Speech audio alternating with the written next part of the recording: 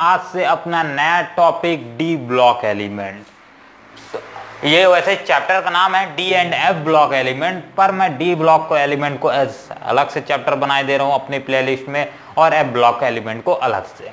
ठीक है ना? अब पर यहाँ अपने हिसाब से पढ़ेंगे। बुक का क्या है? जैसे क्वेश्चन पूछेगी बुक ठीक। तो चलो यार स्टार्ट करते हैं डी ब्लॉक एलिमेंट तो डी ब्लॉक एलिमेंट्स कौन से एलिमेंट होते हैं? डी ब्लॉक एलिमेंट सिंपल वो एलिमेंट होते हैं जिनका आखिरी valence shell electron D block में आए।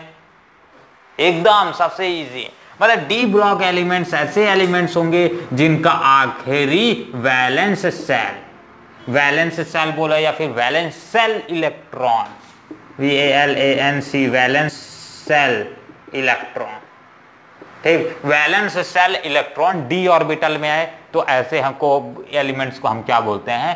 डी ब्लॉक एलिमेंट एकदम इजी सा। तो अगर कोई बोले कि एग्जैक्ट डेफिनेशन बता भाई तू डी ब्लॉक एलिमेंट्स क्या होते हैं? तो डी ब्लॉक एलिमेंट्स ऐसे एलिमेंट्स होते हैं जिनमें वैलेंस इलेक्ट्रॉन्स लाइक करते हैं N minus one D sub shell sub shell में। ठीक सबको हटा दो डी सब डी ऑर्बिटल में या फिर डी सब सेल में बोलो। ठीक है ऑर्बिटल लिखो या O R B I T orbital लिखो या सेल लिखो। ये दोनों वर्ड्स यूज़ करो, ज़्यादा प्रीफर है। लिखने को लिख सकते हो बट गलत ना हो जाए, इसलिए मैं ऐसा कंक्लूज कर रहा हूँ। ठीक है तो डी ब्लॉक एलिमेंट्स ऐसे ब्लॉक हो ब्लॉक एलिमेंट्स होते हैं, जिनमें उनका आखिरी valence shell electron N minus one D sub shell में एग्जिस्ट करता है both in ground state ground state sorry ground plus ground state में और उसके साथ साथ one of its oxidation state O X I D A T ion oxidation state ठीक है? ग्राउंड स्टेट के साथ साथ ऑक्सीडेशन स्टेट में भी। समझ आए तो डी ब्लॉक एलिमेंट्स क्या होते हैं? जैसे कि डी ब्लॉक एलिमेंट्स की बात करेंगे तो आपको एक पीरियोडिक टेबल दिखा रहा होगा। उसमें पूरा का पूरा पीरियोडिक टेबल में डी वाले एलिमेंट्स पूरे डी ब्लॉक एलिमेंट इसमें क्या आ जाएँगे? जैसे कि मैग्नीन, आयरन, कोबाल्ट लिख लेते हैं। Manganese, iron, cobalt, nickel, copper, zinc, ठीक? पूरे स्टार्ट से लिखते हैं। स्टार्ट से मतलब शुरू से लिखते हैं। 21 से जनरली यहाँ स्टार्ट होता है। तो 21 क्या होता है? Scandium. S C scandium, titanium, vanadium, chromium, manganese, iron, cobalt, nickel, copper, zinc. तो ये पूरे के पूरे एलिमेंट्स आ जाएँगे जो कि डी ब्लॉक में एग्जिस्ट करते हैं। हम पहले ग्रुप वाले मतलब डी ब्लॉक का पहला ब्लॉक पढ़ेंगे, ठीक है ना? उसके रिस्पेक्टेड हम इस रिस्पेक्टिव एलिमेंट जो आते हैं, उसको इसी की general property same to same property उन लोग भी शो करते हैं तो उसको एक साथ ही कंसिडर कर लेंगे। तो हम मेजर इन सभी एलिमेंट्स को पढ़ेंगे, अपने कोर्स में मेजर यही एलिमेंट्स हैं, ठीक है? जिसकी स्टडी करना है, यही एलिमेंट्स हैं। हम उसके रिस्पेक्टेड प्रॉपर्टीज़ को नीचे वाले इस एलिमेंट्स के हिसाब से एडजस्ट कर लेंगे। ठीक है? जब पढ़ना होगा, कोई मेजर एलिमेंट्स होगा, उसका इंपॉर्टेंट केस आएगा तो हम उसको भी पढ़ लेंगे। तो वीडियो तो क्लियर है? एक नंबर। चलो तो स्टार्ट करते हैं। अभी एक तो क्या क्वेश्चन है कि दैट हमारे पूरे के पूरे एलिमेंट्स में से स्कैंडियम एस सी एंड आखिरी वाले जिंक स्कैंडियम और जिंक स्कैंडियम को हम ट्रांजिशन स्टेट एलिमेंट हाँ एक चीज़ मैं भूल गया था, डी ब्लॉक एलिमेंट को हम ट्रांजिशन स्टेट एलिमेंट भी बोलते हैं T R A N S I T A T I O N transition state element. ठीक D block element is also said to be a transition state element transition state element का मतलब क्या होता है? ये समझ लो, फिर आगे का क्वेश्चन कर लेंगे। ट्रांजिशन स्टेट एलिमेंट्स ऐसे एलिमेंट्स होते हैं जिनका क्या मतलब जो कि सिंपल से बोलो कि वेरिएबल ऑक्सीडेशन स्टेट तो शो करेंगे ही। एक तो इनकी प्रॉपर्टी रहती ही है वेरिएबल ऑक्सीडेशन ये मोर इलेक्ट्रो पॉजिटिव नेचर से लेस इलेक्ट्रो पॉजिटिव नेचर में चेंज होने की इनकी ट्रेडियंसी रहती है। मतलब मोर इलेक्ट्रोनेगेटिव मतलब more electro more L E C T R electro positive character से less electro positive character positive character में चेंज होने की इनकी ट्रेडियंसी के कारण इन्हें क्या बोला जाता है? ट्रांजिशन स्टेट एलिमेंट बोला जाता है। कंप्लीट तो एक इसका स्क्रीनशॉट ले लो। हो गया? क्यों बोला जाता है? हो गया? चलो तो अब स्टार्ट करते हैं फाइनली अपना ग्रुप इसमें पहला हमने प्रॉपर्टी पढ़ा कि दैट ये इनका सारे के सारे ground state as well as oxidation state one of its oxidation state में भी इनका n minus one D orbital में अगर इलेक्ट्रॉन लाई कर रहा है तो अपना ट्रांजिशन स्टेट एलिमेंट्स होंगे। अगर वो लाई नहीं कर रहा है तो ट्रांजिशन एलिमेंट नहीं होंगे। तो मैंने यहाँ कुछ एग्जांपल्स दिए। अब इसमें एक क्वेश्चन लिख लेना सबसे पहले में कि स्कैंडियम को एज ट्रांजिशन स्टेट एलिमेंट माना जाता है बट जिंक के केस में ऐसा कुछ नहीं होता। ऐसा क्यों ठीक? तो योर कोई आपका क्वेश्चन है कि why scandium is why scandium is considered to be a transition state element, but zinc not?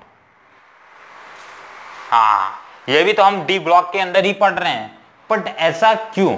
ये रिलेटेड है अपने पहली प्रॉपर्टी के ऊपर, जो हमने पढ़ा। ठीक है?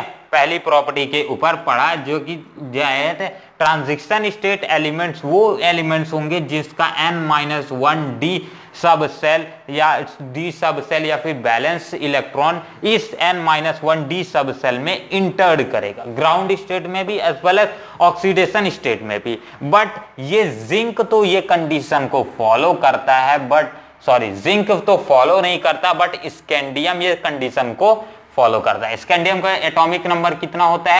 Z is equals to twenty one twenty one atomic number होता है। इलेक्ट्रॉनिक कन्फिगेशन कितना हो जाएगा? इलेक्ट्रॉनिक कन्फिगेशन होता है three D one four S two electronic configuration मेरे हिसाब से समझा दूँ इसी के केसेस के लिए। ठीक है ना? एक क्वेश्चन के थ्रू लगता है पूरा प्रॉपर्टी समझ आ जाएगी अपने को। तो चलो ये इसको यहाँ से याद रख के चलो अभी इस, इसके बाद ही इलेक्ट्रॉनिक कन्फिगेशन भी समझ लेंगे। तो इसका इलेक्ट्रॉनिक कन्फिगेशन कितना होता है? करीब करीब three D one four S two होता है। और वहीं जिंक की बात करेंगे तो जिंक का एटॉमिक नंबर थर्टी होता है। और इसका इलेक्ट्रॉनिक कन्फिगेशन होता है three D ten four S two अब या तो ये ग्राउंड स्टेट में एग्जिस्ट करे इसका बैलेंस इलेक्ट्रॉन ग्राउंड स्टेट में, या तो ऑक्सीडेशन स्टेट में, ये जिसमें N minus one D subshell में एग्जिस्ट करना चाहिए। ये कंडीशन स्कैंडियम फॉलो करता है बट जिंक फॉलो नहीं करता है। कैसे? चलो, कैसे फॉलो नहीं करता है, ये भी देख लेते हैं। देखो, यहाँ अगर जिंक के केस के लिए बात करेंगे तो सिंपल सा इलेक्ट्रॉनिक कन्फिगेशन ग्राउंड स्टेट में क्या आ जाएगा? Three D ten four S two पूरा का पूरा बैलेंस है। डी में कितना होना चाहिए था? डी में 10 इलेक्ट्रॉन आता है। 10 इलेक्ट्रॉन पेयर एग्जिस्ट कर रहे हैं। एस में कितना आता है? एस में आते हैं दो इलेक्ट्रॉन पेयर दो इलेक्ट्रॉन आते हैं तो दो इलेक्ट्रॉन एस में भी प्रेजेंट हैं। तो ये क्या? हाफ़ फ़ील्ड है कि फुल फ़ील्ड है या पार्टली फ़ील्ड है? फुल फ़ील्ड ऑर्बिटल को शो करता है। तो ये ग्राउंड स्टेट में तो N minus one D orbital नहीं शो कर रहा है, ठीक है? N minus one D one से लेकर के दस ये कंडीशन को ये फॉलो नहीं कर रहा है।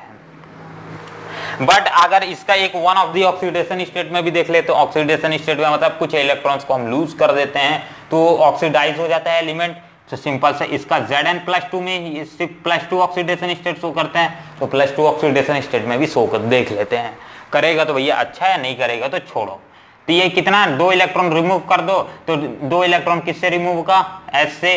फोर एस टू क्या हो जाएगा? प्लस टू ऑक्सीडेशन में अपना atomic number thirty minus two हो जाएगा, क्योंकि यहाँ प्लस टू है तो दो माइनस हो जाएगा। तो ये कितना जाएगा? एटॉमिक नंबर ट्वेंटी एट तो मतलब थ्री डी आप सिर्फ़ और सिर्फ़ टेन अभी भी ये स्टेबल ही है। मतलब ये स्टेबल स्टेज को छोड़ता नहीं है ऑक्सीडेशन स्टेज पे भी। इसीलिए इसे हम कंसीडर करते हैं एक नॉन ट्रांजिशन एलिमेंट ठीक है?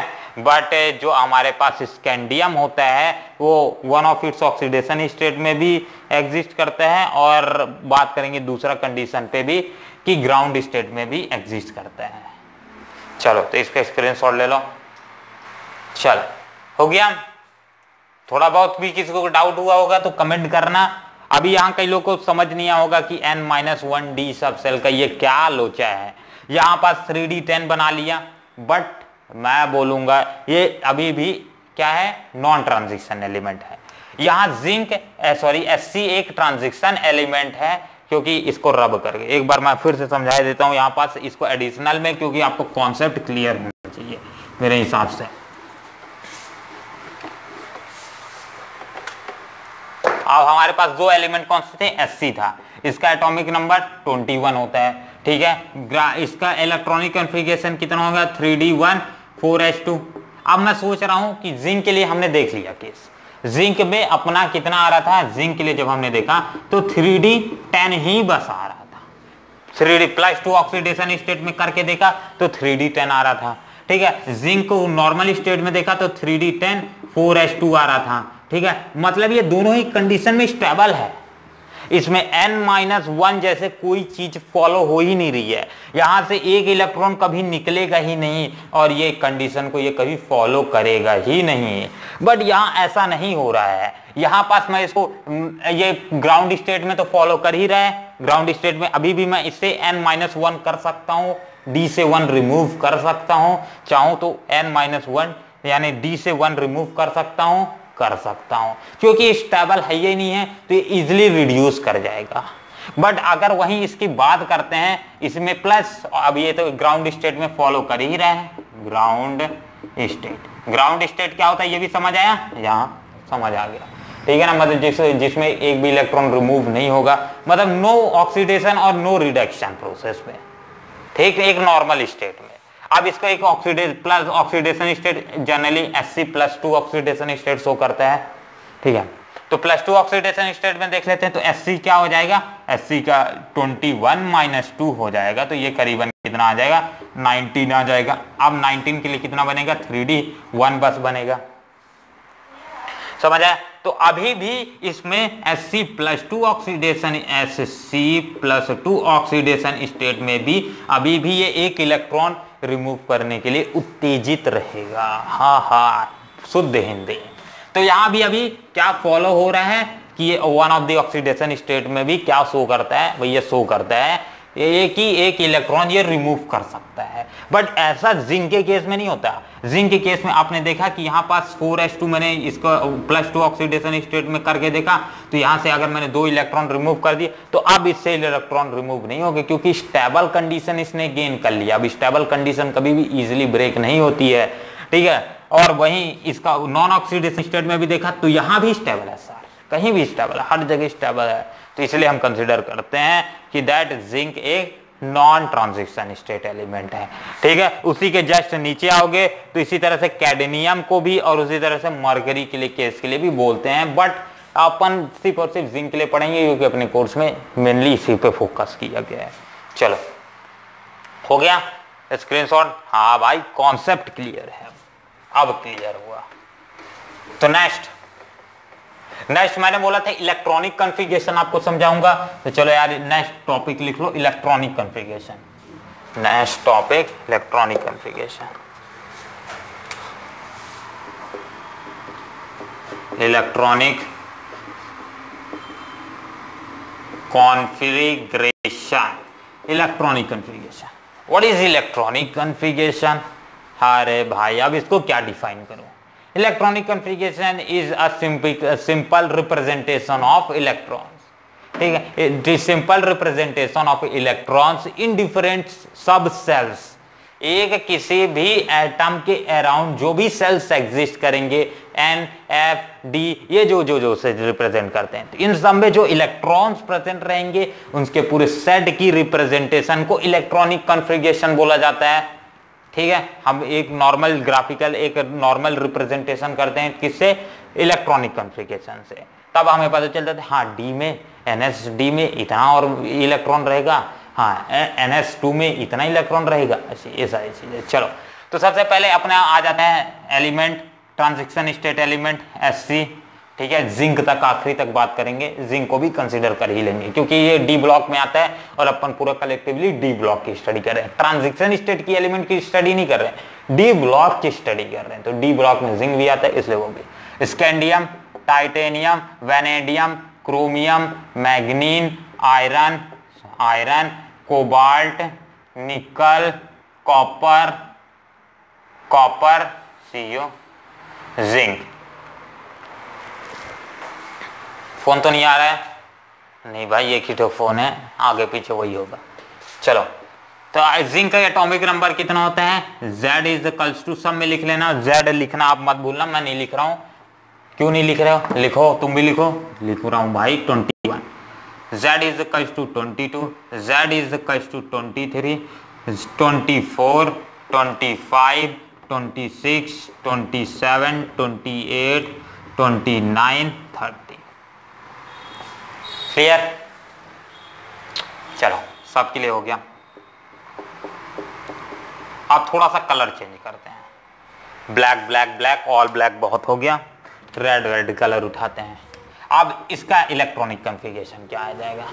इसका इलेक्ट्रॉनिक कन्फिगेशन आ जाएगा अपन पहले देख चुके हैं three D one four S two अब इसमें थोड़ा बहुत एक्सेप्शन केसेस आएँगे, उसको अलग से स्टडी करेंगे, उसका रीजन के साथ। Three D one four S two next वाले में जाओ। Three D two four S two हम इलेक्ट्रॉनिक कन्फिगेशन में हमेशा आखिरी के दो सेल्स को रिप्रेजेंट करते हैं। ठीक है, हमेशा ध्यान रखना।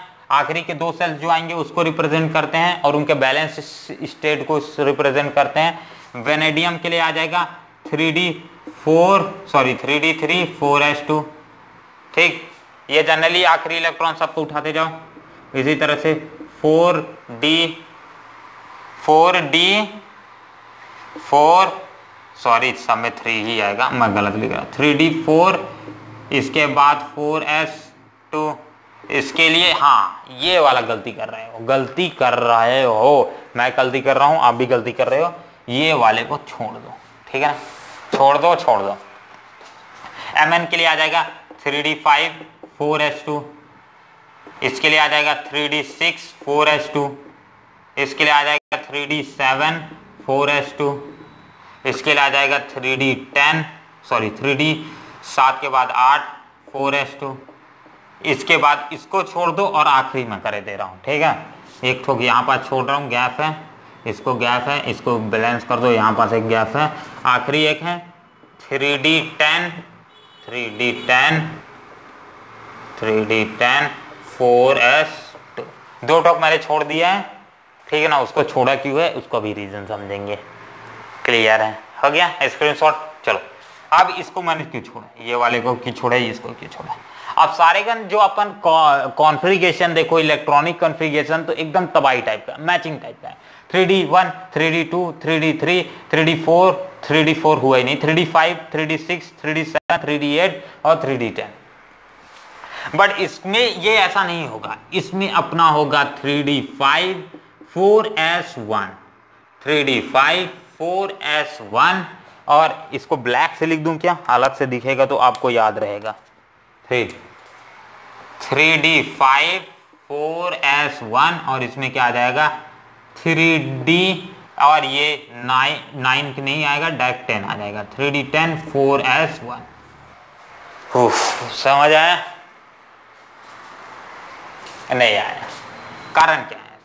देखो, अपना नॉर्मल इलेक्ट्रॉनिक कॉन्फ़िगरेशन अगर ये कितना आ जाएगा? हाफ़ फ़ील्ड होने के लिए डी को कितना चाहिए? हाफ़ फ़ील्ड के केस में हाफ़ फ़ील्ड के केस के लिए इसको चाहिए पाँच इलेक्ट्रॉन और फुल फ़ील्ड के लिए चाहिए इसको दस इलेक्ट्रॉन फुल के लिए फुल फ़ील्ड होने के लिए। तो हाफ़ फ़ील्ड ऑर्बिटल ज़्यादा स्टेबल होते हैं कि फुल फ़ील्ड ऑर्बिटल ज़्यादा स्टेबल होते हैं? तो आपने को मालूम है हाफ़ फ़ील्ड ऑर्बिटल ज़्यादा स्टेबल नहीं होते हैं फुल फ़ील्ड ऑर्बिटल ज़्यादा स्टेबल होते हैं, ठीक है? और ये ज़्यादा, सबसे ज़्यादा फुल फ़ील्ड ऑर्बिटल्स होते हैं पार्टली फ़ील्ड से भी और हाफ़ फ़ील्ड से भी, और हाफ़ फ़ील्ड हमेशा ज़्यादा स्टेबल होता है पार्टली फ़ील्ड से। तो यहाँ अगर ये पार्टली फ़ील्ड पार्टली फ़ील्ड होता तो ये स्टेबिलिटी उतना ज़्यादा गेन नहीं कर पाता। इसीलिए क्या करता है? ये चुरा लेता है, एक ठोक एस से इलेक्ट्रॉन ठीक है? और खुद को स्टेबल बना लेता है क्योंकि अपने को मालूम है डी सेल स्ट्रॉन्गेस्ट और D shell is one of the strongest shell होता है, ठीक है? और one of the biggest shell होता है, ठीक है? इसमें इलेक्ट्रॉन डेंसिटी क्या रहती है? ज़्यादा रहती है। तो ये क्या कर लेगा? स्टेबिलिटी को गेन करने के लिए हाफ़ फ़ील्ड स्टेबिलिटी को गेन करने के लिए, एक ये फोर एस से एक इलेक्ट्रॉन ले लेगा। सेम टू सेम यहाँ भी कंडीशन यही आएगी। यहाँ आना चाहिए था three D nine four S two तो ये भी एक फुल फ़ील्ड ऑर्बिटल बनाने के चक्कर पे ये एक ऐसे से एक इलेक्ट्रॉन को मांग लेगा, ठीक है? और अपने को थ्री डी टेन बना देगा और ये फोर एस वन आखिरी वाला उतना ज़्यादा स्टेबल नहीं भी रहेगा तो चल जाएगा इसके लिए, पर ये खुद को स्टेबल ज़रूर करने की कोशिश करेगा। बट हाँ ऑक्सीडेशन स्टेट पे ये क्या? वह ground state as well as oxidation state पे ये ट्रांजिशन एलिमेंट की तरह बिहेव कर रहा है अभी भी। ठीक है, क्योंकि इसकी ज़्यादा देर तक स्टेबिलिटी इसी तरह से नहीं रहने वाली। चलो। समझ आ गया? इलेक्ट्रॉनिक कन्फिगेशन किसमें किसमें एक्सेप्शन आता है, उसको भी देख लिया। चलो। अब इसके बाद इसी के बगल में अब लिखे ही हैं तो एक साथ और ऐड कर लो। ऑक्सीडेशन स्टेट भी ऐड कर लो। पूरा एलिमेंट लिखना पड़ेगा। उसके लिए ले एक अलग से झंझट। तो ऑक्सीडेशन स्टेट इसी के just O X I D A T I O N oxidation state एक ही साथ कवर कर लेते हैं, फिर दो तीन क्वेश्चन कर लेंगे इससे रिलेटेड स्कैंडियम स्कैंडियम शो करता है प्लस टू ऑक्सीडेशन स्टेट ठीक टाइटेनियम शो करता है प्लस टू ठीक है ना? इसका एक तरीका बताता हूँ। मैंने जैसे याद किया था, किस तरीके से शो करता है, आप भी याद कर लो। ठीक है ना? किस तरीके से शो करता है? ये शो कर सकता है, आखिरी तो प्लस टू शो करता है, इससे रिमूव कर सकता है और लास्ट में ये प्लस फोर शो कर सकता है। तो बीच के जितने बचे, वो भी शो ही करेगा plus three and plus three बचा प्लस थ्री ही शो करेगा। नेक्स्ट ये शुरू में शो करता है प्लस टू और आखिरी एट पॉइंट में तीन, दो, पाँच मतलब plus five oxidation state show करता है। तो ये प्लस थ्री सो ही प्लस फोर सो ही करेगा और उसके साथ साथ प्लस थ्री सो ही करेगा। समझ आ गया ये भी समझ आ गया। नेक्स्ट किसके लिए हम पहुँच गए? स्कैंडियम हो गया टाइटेनियम हो गया वेनेडियम हो गया क्रोमियम ठीक यहाँ एक पा, पाँच है और एक यहाँ एक छह तो ये कितना हो जाएगा? सेकंड पहला आ जाएगा फो, फो, इसके बाद आखिरी में आ जाएगा प्लस सिक्स अब बीच की जितनी बची उन सबको भी ऐड कर दो। ये सब सो ही करेगा। थ्री हो गया फोर हो गया फाइव हो गया। अब केस चेंज होने वाला है, ज़्यादा देर तक ऐसे नहीं चलेगा। अब आखिरी का आपको याद भी रखना पड़ेगा। एम के लिए आखिरी, यानी पच्चीसवा, इसके लिए प्लस टू से लेकर के plus seven oxidation state show करेगा। और हमेशा ध्यान रखना, मैग्नीन भाई एक नंबर एलिमेंट है इस पूरे में। ठीक है? यही ऐसा एक एलिमेंट है जो रे पूरे के पूरे पीरियड भर में, ठीक है? अपने पीरियड में ऐसे, ठीक है? डी ब्लॉक के ये सबसे ज़्यादा सबसे ज़्यादा मतलब सबसे बिगेस्ट ऑक्सीडेशन स्टेट शो करता है, जो है प्लस सेवन की। अब इसके अलावा कोई और एलिमेंट नहीं है, किसी की इतनी मजाल नहीं है इन सभी में से जो plus seven oxidation state show कर सके। तो चलो यार प्लस टू प्लस थ्री आ जाएगा। Plus four oxidation state show करते हैं plus five oxidation state show करते हैं प्लस सिक्स ऑक्सीडेशन स्टेट भी शो करते और प्लस सेवन ऑक्सीडेशन स्टेट भी शो करता है। ठीक हो गया? चलो, अब नीचे उतरते चलो। Plus two plus three plus four and plus six क्या आ जाएगा? Plus two plus three plus four and plus six oxidation state नीचे वाले के लिए थोड़ा सा कम हो जाएगा। आप थोड़ा रिवर्स चलेंगे हम, चीज़ों को रिवर्स पे देखेंगे। ठीक है ना? रिवर्स गारंटी अब नेक्स्ट इस एलिमेंट के हिसाब से। इस एलिमेंट के हिसाब से क्या आ जाएगा? प्लस टू ऑक्सीडेशन स्टेट और उसके साथ साथ कितना शो करेगा? प्लस टू तो शो करेगा, उसके साथ साथ शो करेगा, लिखो। Plus two, plus three and plus four. हो गया?